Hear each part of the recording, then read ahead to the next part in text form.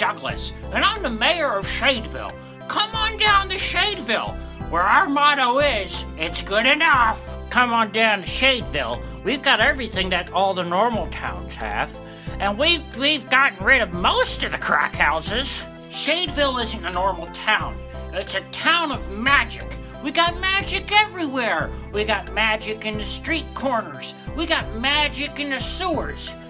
We got magic in my basement. I'll give you the address. So come on down to Shadeville. Come, check out all the great houses and restaurants and and and basements like my basement. Come on down to my just come to my basement already. What do I have to beg you? I am going to work in all my power to get hookers legal. So uh, America keeps keeps making marijuana legal, which is awesome. But what about hookers? This is insane! Hookers have been around for years helping our economy, and all these people want to keep them illegal. If we could just make it legal we, and, and make it so that it's not such a bad thing to be a hooker, then, then maybe we'd get better quality hookers. And I wouldn't have to keep looking over my back every time I buy one. Not that I've ever done that. I've never bought a hooker, that's illegal. But hypothetically, let's say I, I buy three a day, okay, and I never have money. And my wife was like, Where's all the money going, McDouglas?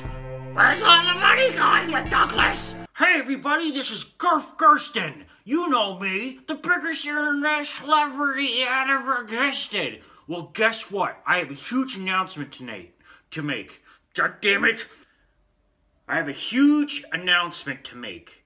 This year marks the first year that I will be hol holding my own festival, GurfCon 2017. I'm Mayor McDouglas. Remember me? Well, guess what? If you come to GurfCon 2017, the greatest festival in the world, my basement is only two blocks away. So you can finally come down to my basement. My basement is beautiful and it's fun. We're gonna have parties. What's the matter, Gurf? My basement reminds you of something? I don't like it down like your. Uncle Larry's shack? Huh? It smells like sweat. Show us.